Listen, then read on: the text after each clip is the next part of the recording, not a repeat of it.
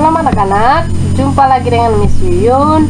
Kita akan belajar di pembelajaran kita yang ke-10 Susah senang tetap melayani. Anak-anak bisa baca dari 2 Timotius 1 ayat 3 sampai 7 Kisah Timotius dalam melakukan pelayanannya. Nah anak-anak kita bisa melihat tujuan pembelajaran kita yaitu agar kita dapat melakukan kebenaran firman Tuhan yaitu kita melayani dengan kasih. Ya ya.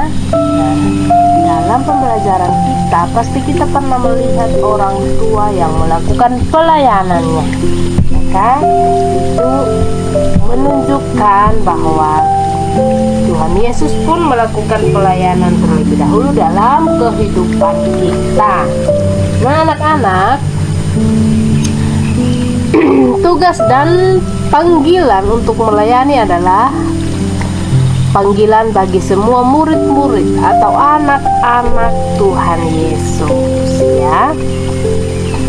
Dan kita bisa anak-anak coba pikirkan pernahkah anak-anak merawat kakek atau nenekmu di rumah kalau pernah pasti kita merawatnya dengan penuh kasih, kesabaran, kerendahan hati.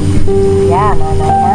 Jadi kita juga melihat contoh seorang perawat yang merawat pasiennya dengan penuh kasih. Ya, dia merawat dengan penuh kasih.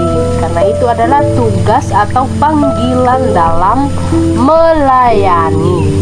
Ya, panggilan untuk melayani adalah panggilan bagi semua anak-anak Tuhan ya sebagai orang Kristen kita harus melakukan pelayanan dengan kasih, kesabaran dan lain Tuhan Yesus ketika menjadi manusia, ia sudah melayani murid-muridnya dengan penuh kasih. Ya, anak-anak ya, kita juga harus menjadi pelayan karena Tuhan Yesus melakukan itu untuk kita dan sudah melakukan pelayanan itu kita.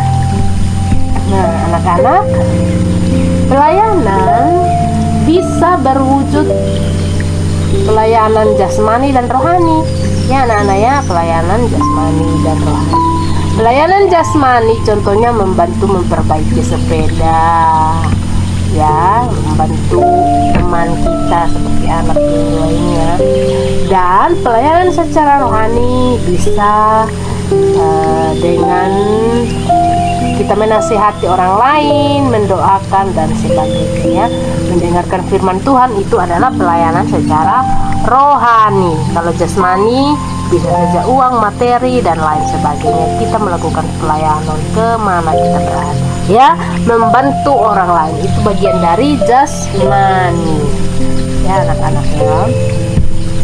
Jadi uh, pelayan pelayanan dilakukan dalam keadaan susah ataupun senang dan memerlukan dua hal yaitu kesabaran. Nah, dalam bahasa Yunani makrotunia. Kata ini melukiskan semangat yang tidak pernah sedih, putus asa, menganggap orang lain orang lain tidak semangat. Ya, jadi dia ini adalah orang yang tidak pernah putus asa, yaitu kesabaran atau makrotunia dalam bahasa Yunani. Jangan dalam bahasa sedangkan yang kedua adalah penguasaan diri dalam bahasa Yunani adalah nepein artinya sederhana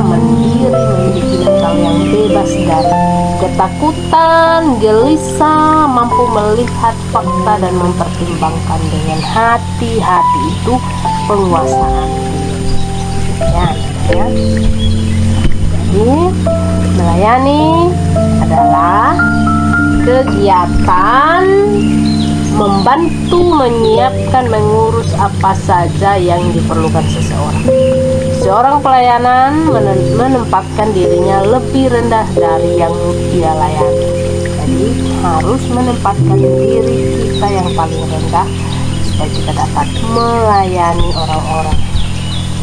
Ya, Jadi kita juga bisa belajar dari seorang tokoh Alkitab ya di dalam 2 Timotius tadi ya.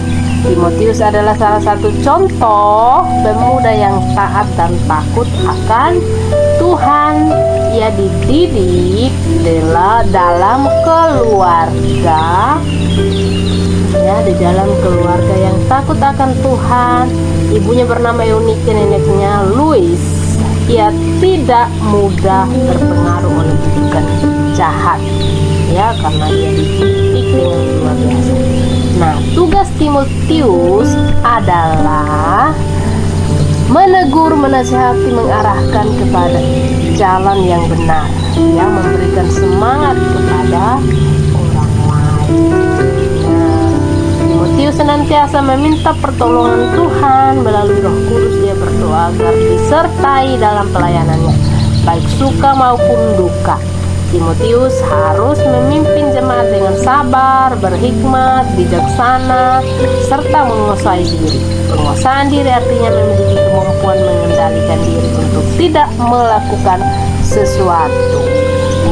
Kita dapat simpulkan bahwa kita sebagai anak-anak Tuhan harus demikian harus punya hati yang sabar dan harus menguasai diri ya Tuhan dan kita minta pertolongan Tuhan.